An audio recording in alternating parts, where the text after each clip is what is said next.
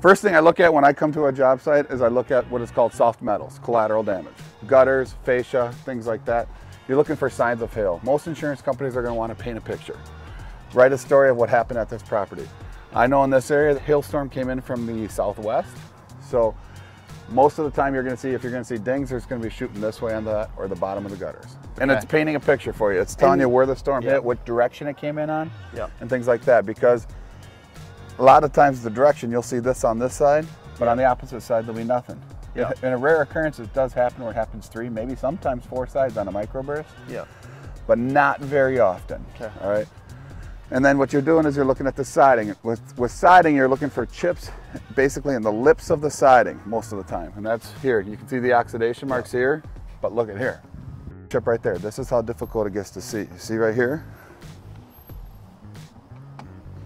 The chip in the siding? That's what you're looking for.